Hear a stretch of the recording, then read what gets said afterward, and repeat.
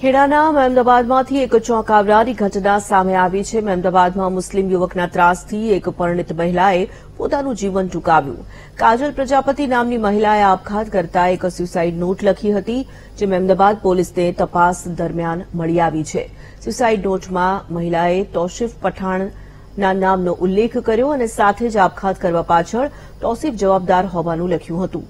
તૌસીફ પઠાણ રૂપિયા માટે મહિલાને ફોન કરીને ધાક ધમકી આપતો હોવાનો પણ ઉલ્લેખ કરાયો, જોકે મહિલાએ રૂપિયા આપવાનો ઇન્કાર કરતા તેને જાનથી મારી નાખવાની ધમકી પણ મુસ્લિમ યુવકે આપી હોવાનું સામે આવ્યું.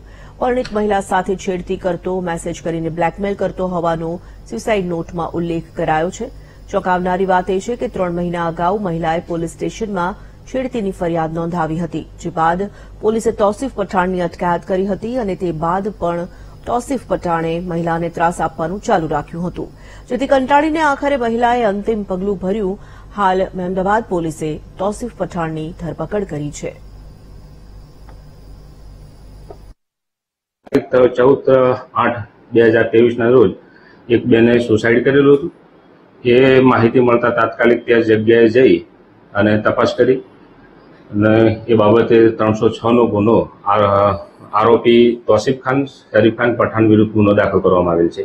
અને આરોપીને આ ગુનાના કામે એરેસ્ટ કરવામાં આવેલ છે અને તપાસ ચાલુ છે.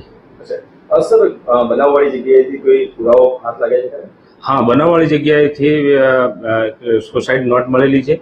એમાં અ, મરણ જનાર બેને એવું લખેલું છે કે હું પાવર પ્રજાપતિ તોસીફ ખાન પઠાણના કારણે આત્મહત્યા કરું છું અને તોસીફ ખાને મારી જિંદગી બરબાદ કરી છે. એના કારણે જ આત્મહત્યા કરું છું.